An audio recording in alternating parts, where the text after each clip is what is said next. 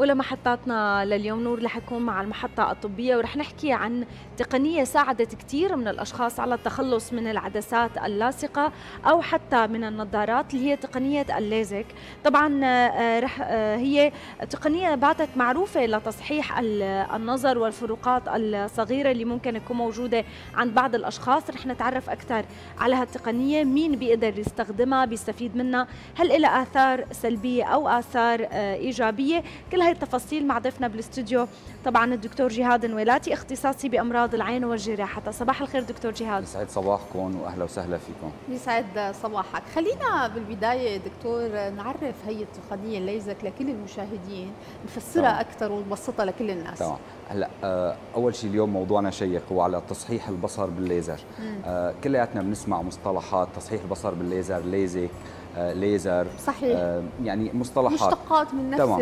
هي الهدف هو الفكرة اللي المغرية يمكن بالنسبة للي عندهم نظارات إنه يخلص يقدر يحصل على نظر صافي والتخلص من النظارات الطبية أو العدسات اللاصقة. خلينا نرجع شوي خلينا نشرح على وظيفة العين.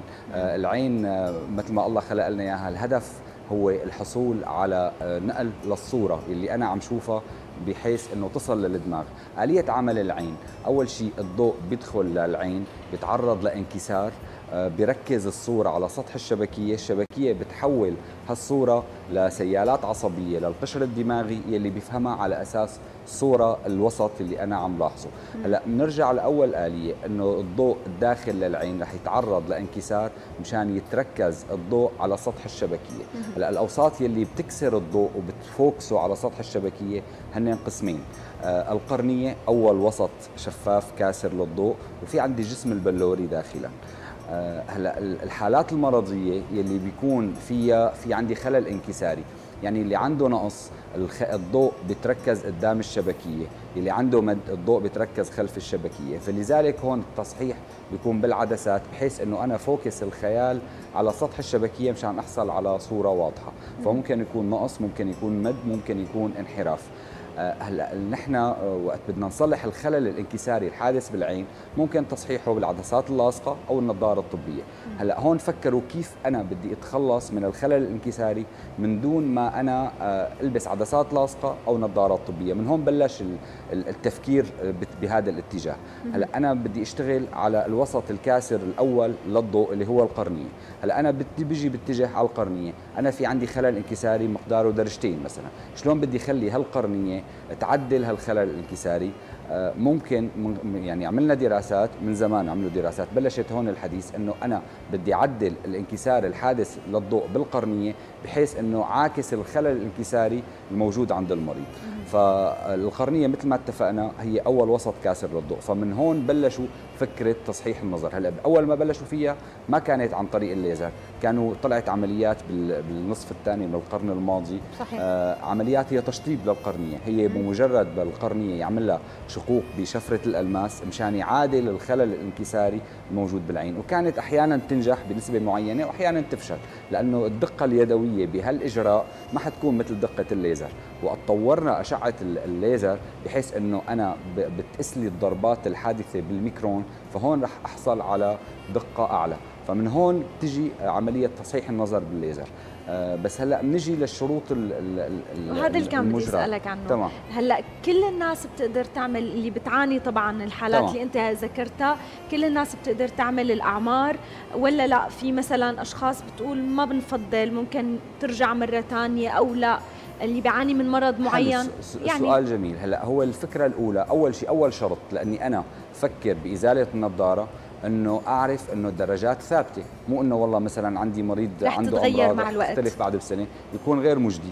إذا بدي كل سنة غير الدرجات لا أنا بفضل إنه مثلا تعالج بالنظارات آه بدي يكون إنه أنا ثابت النقص الموجود. ثباتيه النقص أو الدرجات عادة بتكون بعمر 18 سنة. الحسر اللي بصير بمراحل النمو عند الأطفال غالبا بيكون مترقي بزيد شوي شوي لحد الثبات بعمر 18 سنة.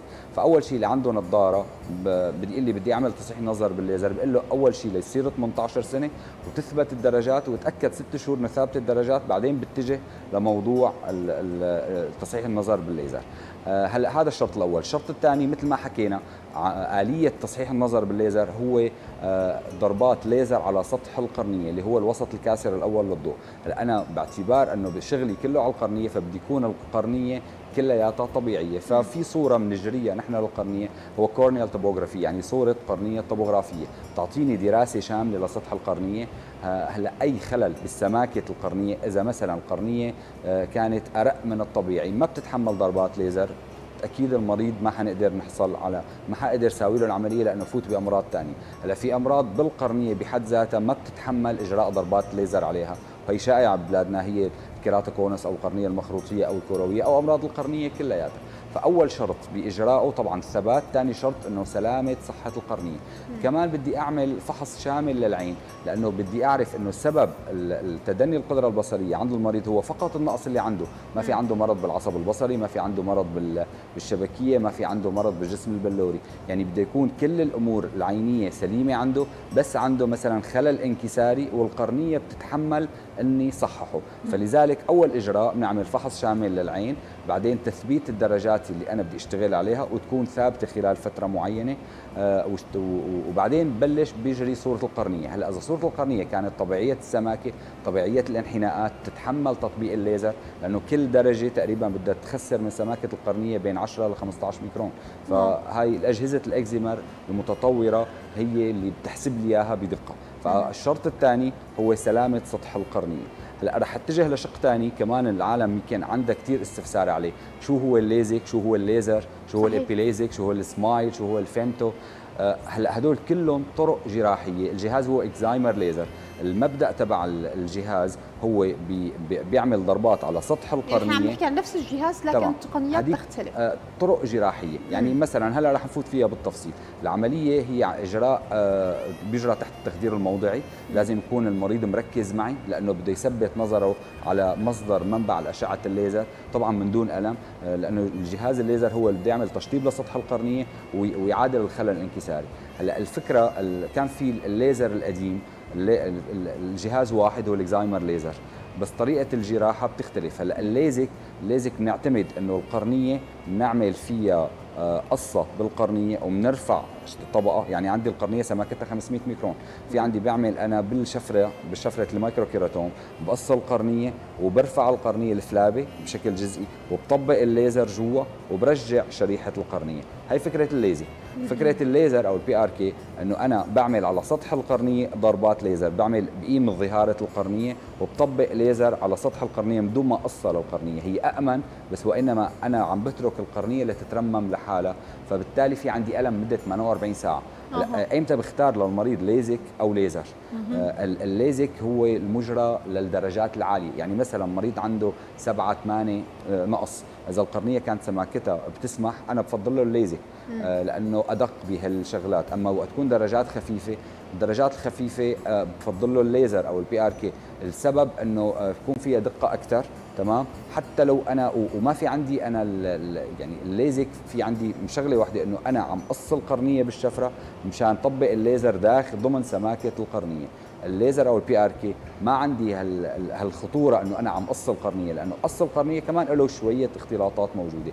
الليزر لا بس المريض عم يحمل وجع لمدة 48 ساعة. هلا بس الفرق بيناتهم هو الألم. طبعا بالطريقة الفرق بيناتهم يعني بالالم ولا فيك آثار أكثر يعني كمان ممكن لا لا تكون إيجابية؟ طيب. الإيجابيات كل واحد ممتاز بإيجابيات. الليزك ما في ألم الليزر في ألم. بس طبعا في آلية لتخفيف الألم. بس بقول لك أنا بختار للمريض العملية المناسبة لأنه الجهاز واحد هو ال excimer laser وإنما طرق جراحية. هلأ في طرق جراحية جديدة طلعت. في عندي ال femto laser آه، في عندي ال SMILE laser. طرق جراحية كلياتها الجهاز تصحيح النظر بالليزر. كله كل يعني هدف دائما العلم. بتطوير الأجهزة هو الحفاظ أكثر على سلامة المريض. صحيح. بس طبعا كله قلت لك هو جهاز إكزايمر ليزر وباقي طرق جراحية. أهم شيء تكون عندي القرنية سماكتها منيحة وانحناءاتها منيحة حتى أحصل على نتائج جيدة.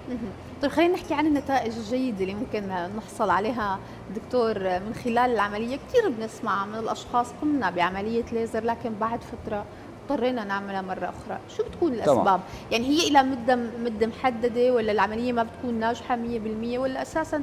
لأنه أساسا في مشكلة بالقرنية هو بيتم عملية تصحيح بس لكن مش 100% طبعا. آه سؤالك حلو. دائما نسمعها إنه أنا عملت وبعدين رديت عدت. صحيح. أنا عملت وما استفدت. هي أول شيء بحب يعني نتوجه بهالملاحظه للمشاهدين إنه هي نسبة كثير قليلة. هلأ الأسباب مو الفشل الأسباب عودة الدرجات. هلأ في عندي أسباب كثيره أول شيء إنه أنا اشتغلت بعمر مبكر يعني مثلا مريضة اشتغل عندها نظارة عندها نقص ب 18 سنة آه، ساوت ليزك راحوا الدرجات.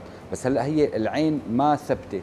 يعني ممكن النقص يضل عم يزيد ل 22 يعني بعد 18 ساوت ليزر آه، أو ليزك شو ما كانت طبعا لأنه الفكرة نفسها إنه أنا أتخلص من الدرجات اللي كان عندها بعمر 18 روحت لها إياهم صارت تشوف 10 من 10 آه لسه العين ما اكتمل نموها خلينا نسميها هيك طول امامي الخلفي زاد طلع عندي حسر جديد طب اللي أكبر؟ اللي هن. آه يعني شو بكون المشكلة هذا الاحتمال هذا احتمال إنه شائع كثير عمره 18 سنة يعني طول عمره بتحط نظارات أول صارت عمرها 18 قبل ما يثبتوا الدرجات رحنا سوينا ليزك آه كان عندها أربعة روحت لها الأربعة مثلا.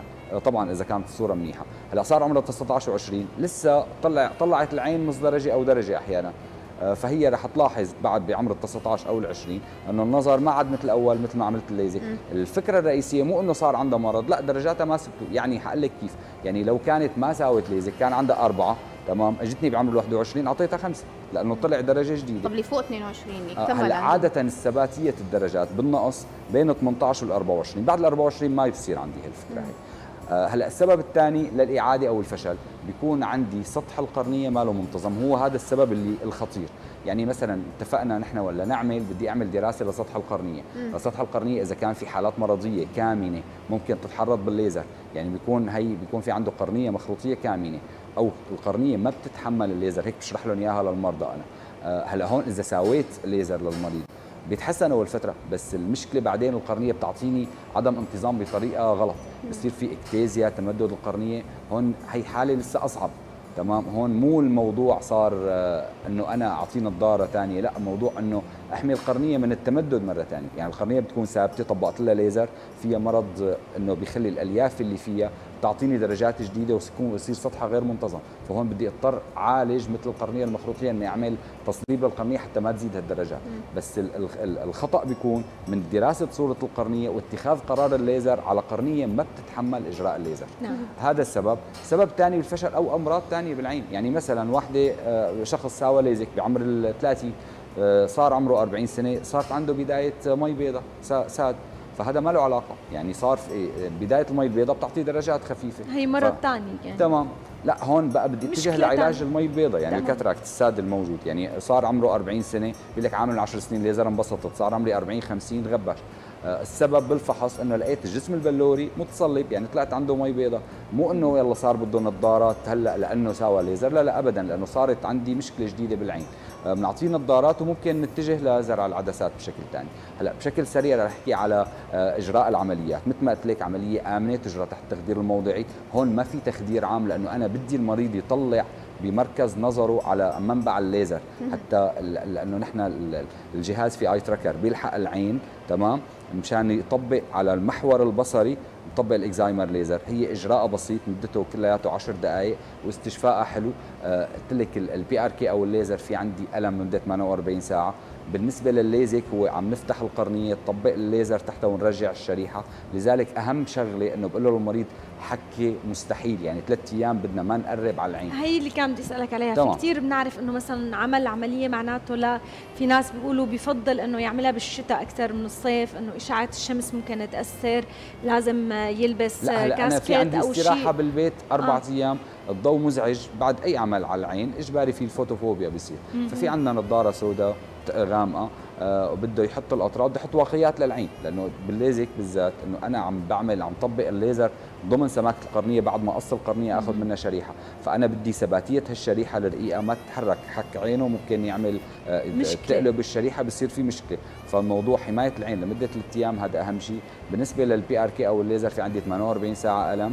آه كمان أول ثلاث أيام هي اللي لازم ندير بالنا كثير طبعا استعمال القطرات الموضعية ممكن المسكنات بس أكيد بعد خمسة أيام المريض بحس آه، يعني إنه فرق كثير هي اجمالا عملية تصحيح النظر بالليزر إذا كانت اندرست بشروطها اللي حكيناها عملية كثير حلوة وكثير المريض بينبسط عليها أكيد. في كثير مرضى بيقولوا لي تغيرت حياتي بعد إجراءها. يعني كان الفكرة إنه واحد عنده خمس درجات مثلا بفيق الصبح أول عمل بيساوي إنه يدور على النظارة. يعني مرضاي بيقولوا لي إنه أول ما فتحت عيوني إنه أول مرة بفتح عيوني ماني بحاجة للنظارة. هالمنظر هذا. طيب دكتور خلينا نسأل يعني بقي دقيقتين أو أقل. هي التقنية إذا بدنا نقول بالليزر آه، تصحيح النظر. بتعالج كل الحالات. لما نحكي في ناس بتقول لك أنا بحط نظارة طول العمر لأنه معي مد طويل أو معي قصر بالنظر طبعا. أو انحراف يعني في حالات بتلاقي الناس بتقول لك إنه ما عندها هذا الخيار شو الحالات أكيد. اللي بنحكي عنها إنه هي ما فيها تقوم بهيدا الإجراء لتصحيح هلأ. النظر بالعين هلا الكسل بنعرف إنه صعب الكسل جدا الوظيفي شيء ثاني الكسل لأنه الآلية الخلل بس عم نحكي عن الانحراف عن نسبة طبعا. المد أو هلا هون بقى خلينا نحكي بشكل هيك سريع عن الدرجات اللي ممكن نروحها. اتفقنا أول شيء بدها تكون العين سليمة من كل الامراض ثاني شيء القرنية سماكتها بتتحمل نشيل الدرجات. آه، هلأ شو ال excimer laser أو طرق تصحيح النظر قديش بشيل هلأ بالنسبة للنقص لحاله يعني مسموح نشيل لل 8 9 10 okay تمام إذا كانت القرنية بتسمح. بالنسبة للانحراف اللي هو حرج البصر ال astigmatism يعني للخمسة ستة maximum بالنسبة للمد بصراحة المد مشكلة بتواجهنا أكثر من النقص صحيح لأنه المد غالبا هو مو يعني المد ممكن في شيء ظاهر في شيء مخبى ببين توسيع الحدقة. ممكن أنا أروح المد الظاهر وبعد ما أروحه يطلع المد الكامل. فهي مشكلة المد بيعتمد على فوكسة العين على مطابقة العين. المد كمان بالإكزايمر ليزر يعني الفكرة المد إنه أنا الليزر عم بضرب بالمحيط القرنية مشان يزيد انحناء القرنية. النقص عم بيعمل لها مسح بالمركز ليقلل سماكتها. هي بتفرق بالآلية فوقت أنا بالمد إنه بدي أضرب القرنية بالمحيط حتى زيد الانحناء مشان صححها سواء انكسار يعني مسمح لي كمان ست درجات maximum فالفكرة حسب الحالة آه، يعني عادة المد للست درجات okay إذا كان مع المد الكامل ست درجات بينبسط. بالنسبة للنقص بينبسطوا أكثر لأنه نسبة الدرجات اللي بيقدر يشيلها أكثر. أكيد. طبعا. يعني معلومات قيمة أعطيتنا إياها اليوم. شكرا لك دكتور وشكرا لوجودك أهلا وسهلا فيكم وصباح الخير وصباح الخير للمشاهدين. يعطيكم العافية. شكرا لك دكتور.